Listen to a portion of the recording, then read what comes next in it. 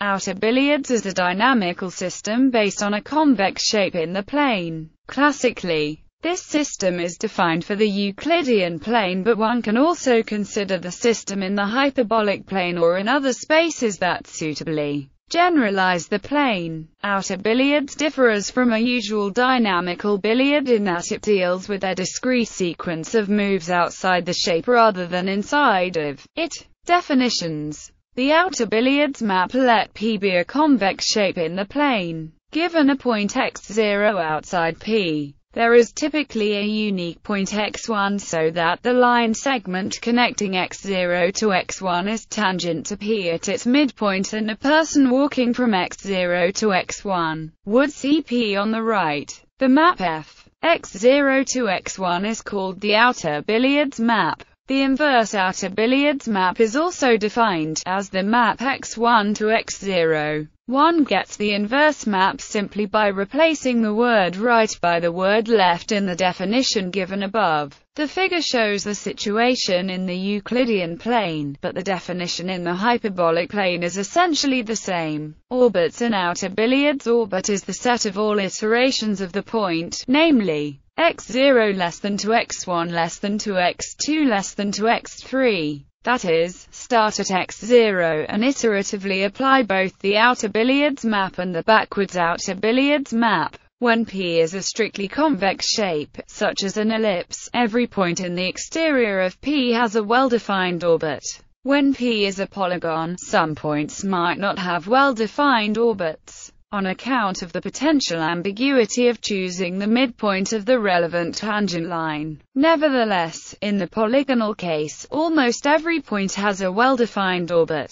An orbit is called periodic if it eventually repeats. An orbit is called aperiodic if it is not periodic. An orbit is called bounded if some bounded region in the plane contains the whole orbit.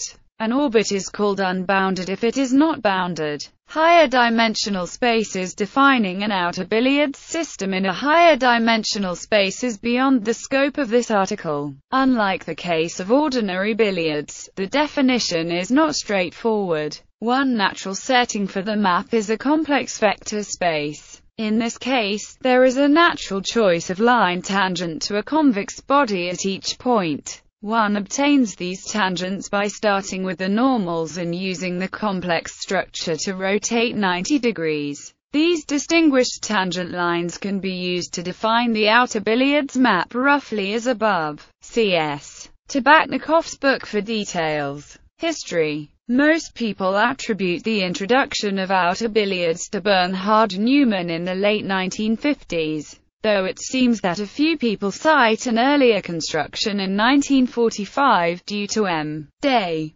Jürgen Moser popularized the system in the 1970s as a toy model for celestial mechanics. This system has been studied classically in the Euclidean plane, and more recently in the hyperbolic plane. One can also consider higher dimensional spaces, though no serious study has yet been made. Bernhard Neumann informally posed the question as to whether or not one can have unbounded orbits in an outer billiards system, and Moser put it in writing in 1973. Sometimes this basic question has been called the Moser-Neumann question. This question, originally posed for shapes in the Euclidean plane and solved only recently, has been a guiding problem in the field. Moser-Neumann question bounded orbits in the Euclidean plane in the 70s, Jürgen Moser sketched a proof, based on KAM theory, that outer billiards relative to a 6 times differentiable shape of positive curvature has all orbits bounded. In 1982, Raphael Douady gave the full proof of this result. A big advance in the polygonal case came over a period of several years when three teams of authors, Vivaldi Shaidenko, Kolodziej, and Gutkin Simanyi, each using different methods, showed that outer billiards relative to a quasi-rational polygon has all orbits bounded. The notion of quasi-rational is technical but it includes the class of regular polygons and convex rational polygons namely those convex polygons whose vertices have rational coordinates. In the case of rational polygons, all the orbits are periodic. In 1995, Tabachnikov showed that outer billiards for the regular pentagon has some aperiodic orbits, thus clarifying the distinction between the dynamics in the rational and regular cases. In 1996 Boyland showed that outer billiards relative to some shapes can have orbits which accumulate on the shape. In 2005, Genin showed that all orbits are bounded when the shape is a trapezoid thus showing that quasi-rationality is not a necessary condition for the system to have all orbits bounded. Unbounded orbits in the Euclidean plane in 2007. E. Schwartz showed that outer billiards has some unbounded orbits when defined relative to the Penrose kite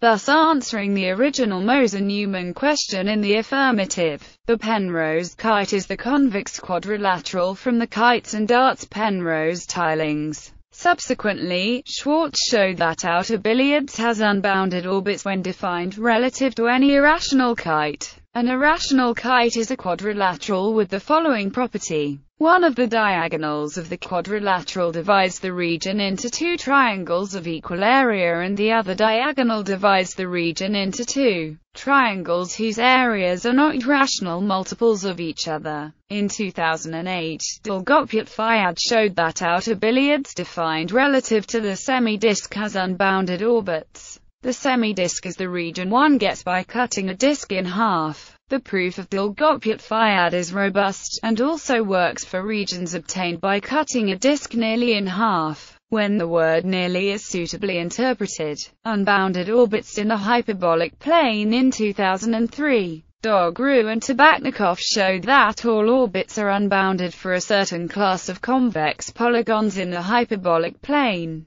The authors call such polygons large. Dogru and Otten then extended this work in 2011 by specifying the conditions under which a regular polygonal table in the hyperbolic plane have all orbits unbounded, that is, a large existence of periodic orbits. In ordinary polygonal billiards, the existence of periodic orbits is a major unsolved problem. For instance, it is unknown if every triangular-shaped table has a periodic billiard path. More progress has been made for outer billiards, though the situation is far from well understood. As mentioned above, all the orbits are periodic when the system is defined relative to a convex rational polygon in the Euclidean plane. Moreover, it is a recent theorem of C. Culter that outer billiards relative to any convex polygon has periodic orbits, in fact a periodic orbit outside of any given bounded region. Open questions.